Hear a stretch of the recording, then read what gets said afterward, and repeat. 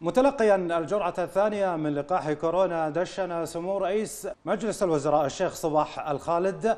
القاعة رقم 6 في مركز الكويت للتطعيم بأرض المعارض بمنطقة مشرف بحضور نائب رئيس مجلس الوزراء وزير الدولة لشؤون مجلس الوزراء أنس الصالح ووزير الصحة الدكتور باسل الصباح. وعلى هامش هذا الافتتاح قال وزير الصحة إن عدد من تلقى الجرعة الأولى من اللقاح. تعدى عشرين ألف شخص لافتا أنه سيتم منح شهادة تطعيم خاصة تحتوي على معلومات تؤكد الحصول على اللقاح المضاد لكورونا لمن يتلقى الجرعة الثانية. وستستخدم هذه الشهادة كجواز سفر في المطارات التي تطلبها.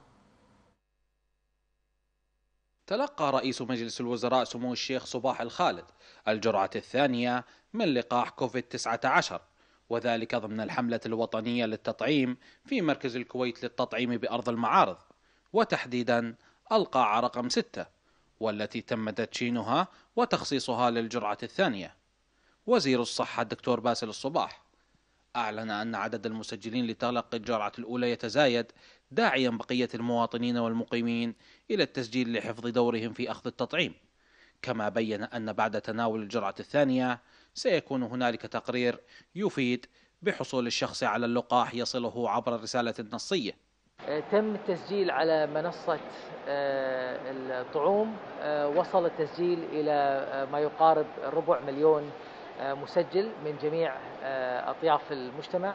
وإن شاء الله من هذه المنصة أيضا نشجع بقية المواطنين والمقيمين على التسجيل في المنصة لحفظ دورهم في أخذ الطعوم. عدد اللي طعموا بالطعم الأول لين ليلة البارح تعدى العشرين ألف طعم. وإن شاء الله في اليوم ومن الأسبوع القادم راح يكون عملية أخذ الطعوم مضاعفة.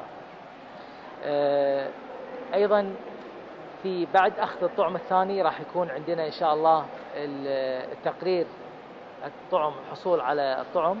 راح يجي عن طريق رسالة نصية. وأيضا اليوم حبيت أشارككم أيضا في بالتعاون مع الطيران المدني راح يكون عندنا شهادة التطعيم الباسبورت للتطعيم اللي راح أوريكم إياها اليوم. أنا أخذت الطعم الثاني اليوم ووصلتني شهادة التطعيم وهي مرتبطة مع المعلومات المدنية. بالضبط وهي صورة مأخوذة من المعلومات الهيئه معلومات المدنية. وبين بأن أنا أخذت الطعوم بشكل الدائرة الخضراء. عند أخذ الطعم الأول راح تكون نصها حمر والثاني راح يكون أخضر. طبعا عند المطارات إذا دعت الحاجة في المطارات الخارجية وبعد اكتمال المنظومات في مطارات الخارجية راح يكون طلب ال QR code للتحقق من فاعلية هذه يعني صحة هذه الشهادة. وهذا الباركود يتغير كل عشر دقائق لضمان بأن الباركود يكون صحيح عند يعني الوصول إلى المطارات. وأشارت مديرة إدارة العلاقات العامة والإعلام في وزارة الصحة إلى أن وصول الدفعة الثانية من لقاح فايزر سيكون مطلع الأسبوع الجاري وأن ما يشاع عن البطء في عملية إعطاء اللقاح غير صحيحة. هو ليس بطء. قاعد يقارنون دولة الكويت بالدول المجاورة. قاعد يقارنوننا مع دول الخليج. هم بدوا بشهر ثمانية وفي منهم بدوا بشهر عشرة وفي منهم بدوا بشهر 11 إحنا بلشنا 24 ديسمبر. فإحنا صار لنا بس ثلاث أسابيع فقط لا غير. شلون بطء وما, وما شاء الله الدفعات اللي خذت الجرعات هذه يعني تحسب على 1200 باليوم.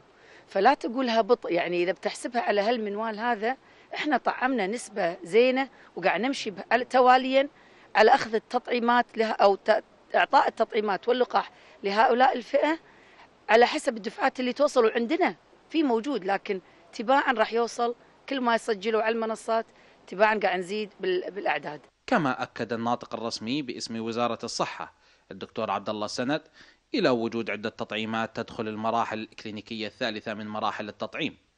علاوة عن وجود تطعيمات في مراحلها الأولى والثانية، داعيا الجميع إلى التسجيل في منصة التطعيم لأخذ التطعيمات. اليوم هو اليوم الرابع عشر من أيام العمل في مركز الكويت لتطعيم كوفيد 19 حقيقة هذه الحقبة التي يعيشها العالم وهذه الحقبة التي نعيشها جميعا من عمر هذا الوباء هي حقبة مميزة اليوم نحن نتحدث عن أكثر من 32 مليون شخص حول العالم أخذ هذا التطعيم وموزعين على 45 دولة. 32 آه، مليون شخص موزعين على آه، موزعين على 45 دولة و10 ملايين شخص في الولايات المتحدة الأمريكية. نحن اليوم نتكلم عن عدة تطعيمات حقيقة تدخل المرحلة الكلينيكية الثالثة من مراحل الاعتماد آه، وهناك كذلك في المراحل الأولى والمراحل الثانية كذلك. حقيقة اليوم يعني نحن نشد على عضد الجميع حتى يأتي للتطعيم. وزارة الصحة مستمرة في حملة التطعيمات بإعطاء اللقاح للفئات حسب الدفعات التي تصل البلاد حيث أن الطاقة الاستيعابية للصالات بمركز الكويت للتطعيم تصل إلى عشرة آلاف شخص يوميا. وموفق العرقان اي تي في العدالة.